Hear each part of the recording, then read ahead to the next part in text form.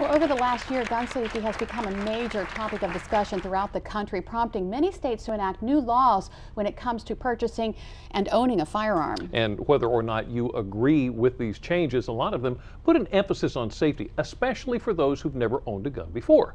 Brian Spyros is in Mardela Springs this afternoon with Tactical American Security Consulting. Brian? Well, Jimmy and Lisa, this is information people need to know whether you already have a gun or you plan on buying a gun. And here to help me talk all about it is Evan Avnat who is the CEO of Tactical American Security Consulting. So the first thing, tell us a little bit about the company and what it is that you exactly do.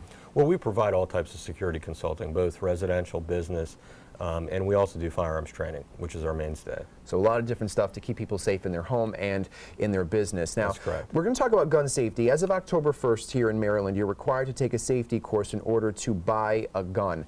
How does that safety course work and how long is it? It's four hours. You have to do two hours of classroom and you also have to do two hours on the range and that includes Maryland laws and safety with handguns, um, how to properly function a handgun, cleaning a handgun, so on and so forth. And then it's actually two hours of live shooting. And you, you guys literally, you take people through all this because we That's should correct. mention a, a gun is not a toy, it's a, it's a tool and you really need to teach people the right way to use it. Absolutely. I mean, it's a tool like any other. It's like a, just like a chainsaw or just like a sawzall. If you don't know how to use it, it can definitely hurt somebody, um, you know, or you can hurt yourself. So, um, you know, a gun is something that you really have to, to train how to use instead of just going and buying one and then, you know, taking it to the range yourself and not knowing all the, the, the stuff Safety that comes, the responsibility that comes along with it. Absolutely. We mentioned Dela uh, Maryland. What about Delaware? What do we need to know in terms of the safety course there? Delaware, if you want to get a concealed carry permit, you have to take an eight-hour class as well as do some additional steps for Delaware law.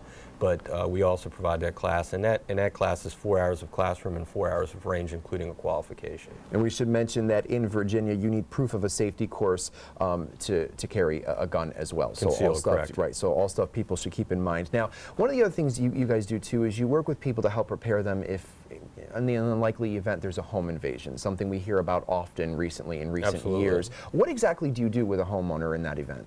Well, it's actually a four-day class. We do it over the course of about a month, so it's not four days straight. Um, but our first class is NRA, which is a basic handgun safety course.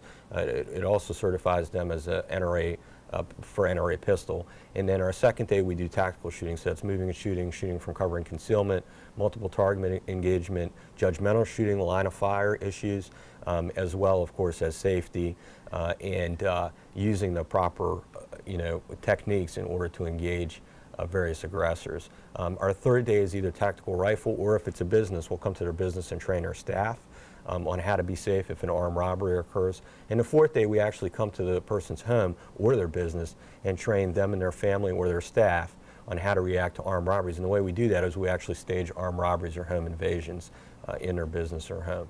Now, going back to uh, gun safety, you know, whether someone has had guns in their home or they plan on buying some, what are some things they should keep in mind, especially if they have a family and children?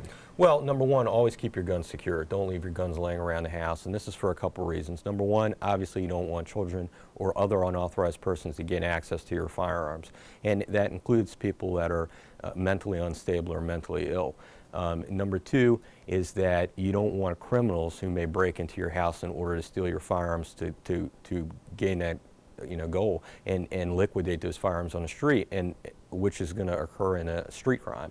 So, you know, again, you don't want uh, those types of situations to occur. You obviously want to keep your firearms locked up and away from unauthorized persons. And be trained how to use them. And also, if someone has a gun on them, what are some good safety tips to keep in mind with that? Well, first of all, don't point your gun at anything unless you're willing to destroy it. Even if the gun you know for a fact is unloaded, you never point a firearm at anything that you're not willing to destroy. Number two is always keep your finger off the trigger until uh, you're ready to use it.